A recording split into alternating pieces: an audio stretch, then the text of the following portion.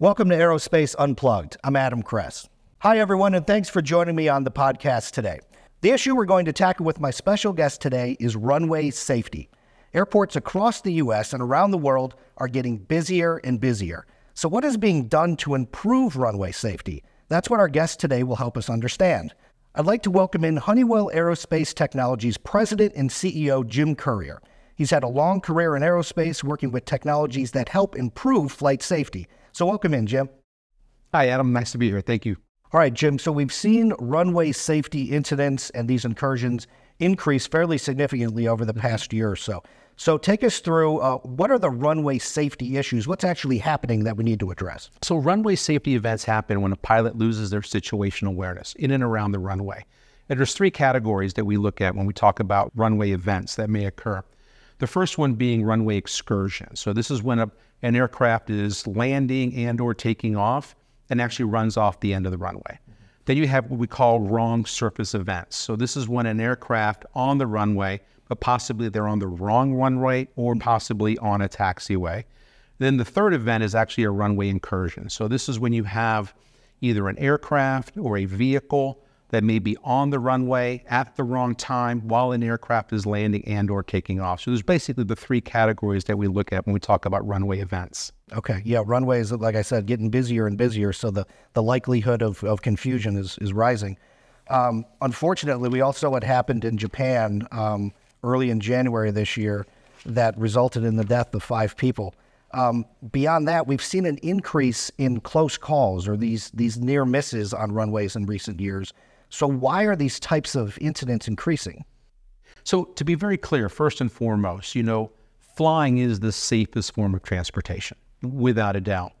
But now, as we're coming out of COVID, a couple of things are happening. One, the volume of flights have been increasing dramatically.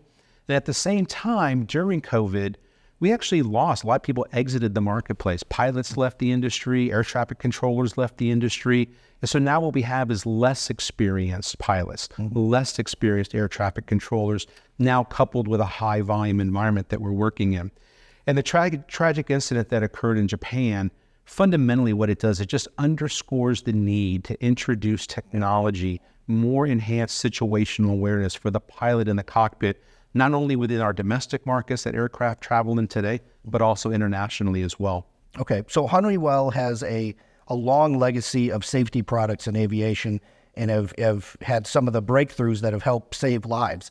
Um, what are they doing in the area of runway safety? Are there products that exist, products that are coming? Both. We have products that exist today and what's forthcoming. If you think about what exists today, you know, we have our runway awareness advisory system, what we call RAS. And from that span, spun off some products, smart runway, smart landing, or generically speaking, what we would call smart X at the end of the day. And really what smart X does, is it addresses the two primary areas I mentioned a moment ago in terms of those categories that we're referring to, whether we're talking about runway excursions and providing that enhanced timely notification to a pilot. Um, do you have a, a unstable approach coming into the airport?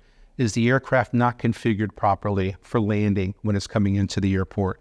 Or as you're approaching the aircraft or the runway and or taking off, is the runway through calculations going to be too short, short for you to do that? And the second one is about the wrong surface events that may happen. So that's the second element that our our um, Smart X system helps take care of. And specifically around that, it's really providing that enhanced pilot situational awareness, the notifications as to what runway are they landing on? Um, what runway are they taxiing on, right? From two in that regard. So those provide you the two on the ground at the moment. The technology that we're developing now for the future is what we call our surface alert, or we call SURF A.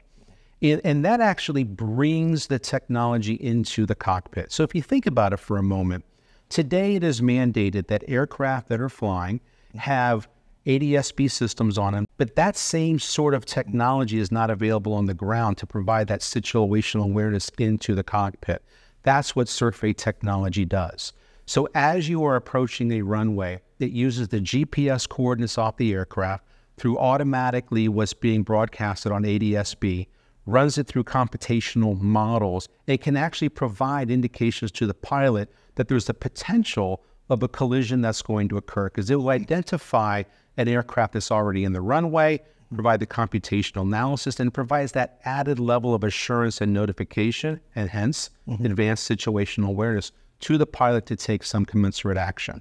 Yeah, so it seems like that sort of that sort of system, surface alerts, um, w- would you know it would it would work to give better eyes and ears to the pilot on the ground, right? You could see better around themselves because right now, correct me if I'm wrong, but they they're listening to ATC, um, taxiway here, go runway left, hold short here, um, but they need to, other than what they can see out the front of the airplane, they have to trust what they're hearing from ATC. There's no backup system. That is correct. Correct. And so what this does is actually brings that technology into the cockpit, right? So actually getting an oral warning, you know, that there's an imminent potential issue that's arising and or a visual cue on your display. So you get both of those happening in in accordance with, or I should say, over and above what you've been hearing through air traffic control. Correct. So there, you know, there's many layers of security um, and safety in aviation, and what we're talking about with Surf A would add a new and important layer of security. Right. And as you think about safety in general, it's always about layering in more safety on top of safety on top of safety to get the most safe operating environment you can be within.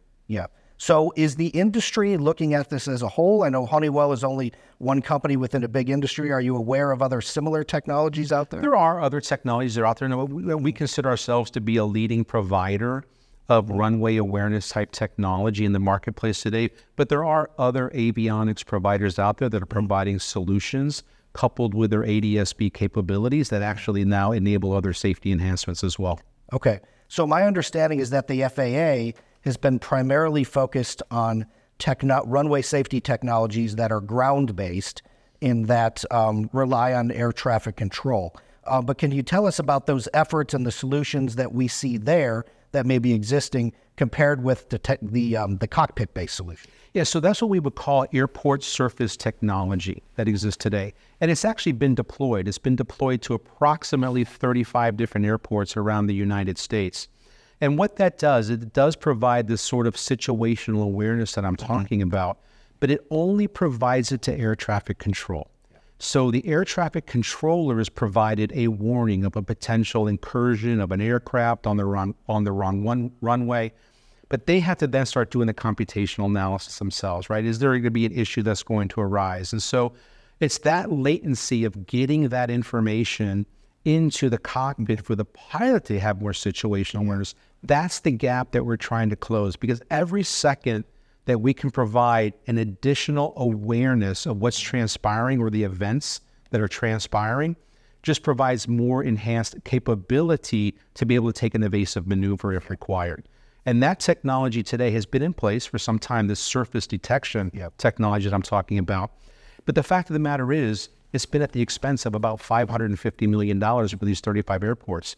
There's over 400 more airports that need to get this technology deployed at. And if you think about the cost and the time to deploy this, it could be another decade before we see this technology. And the expense, that taxpayer expense, could be overwhelming. Yeah. So the FAA has no um, no requirement, no mandate for cockpit-based runway safety technology. Correct? That is correct. That is correct. Now, albeit now, I will I will make mention.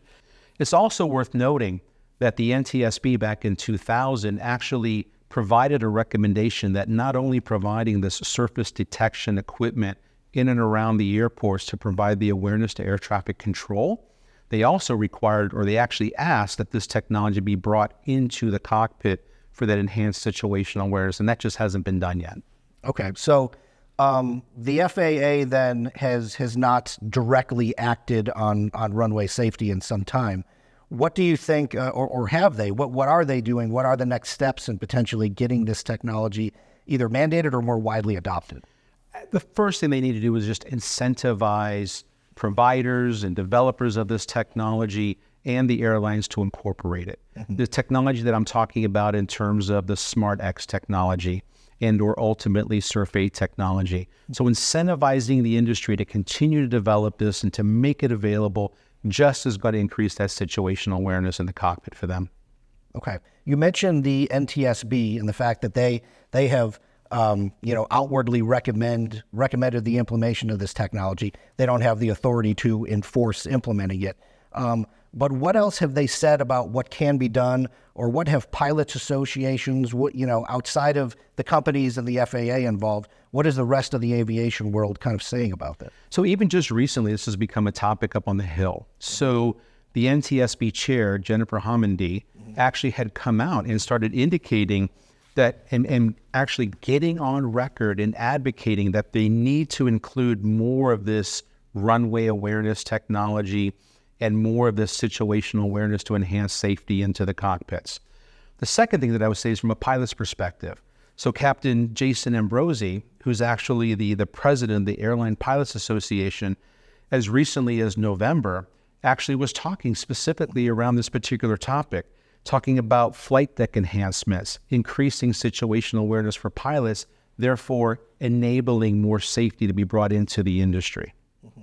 What do you think will eventually cause a shift to get more of this technology to be adopted? Do you think it comes from industry or from a new law? I mean, ultimately, legislation, I think, will come into play here a little bit, right? So, providing additional resources, providing additional funding, um, to develop the technology and to incorporate te- te- the technology. So I think from a legislative standpoint, from a regulatory standpoint, both agencies need to take a very, very hard look at what's happening here and ensure that it becomes a priority across the industry. Okay. Well, you said it earlier, and it remains true that flying is still by far the safest mode of Absolutely. transportation. As much as we've talked about runway incursions today and potential problems, um, it's valid because we do see them, and the number is growing. But what do you think? What would your message be to to everyday folks who are maybe learning about this issue and maybe they fly, they don't want to become afraid, right? But they know that there is a problem here. There, there, I mean, we definitely don't want to instill a sense of fear, without a doubt. I mean, I personally spend probably three quarters of my time in the air flying, and I do feel, and it is the safest mode of transportation. I feel much safer getting into an aircraft than I do getting into my car and driving somewhere. All we're talking about is there's never can be enough that you can do, right? So as new technology is developed, as new capability is developed, if it does enable enhanced safety, why not incorporate it?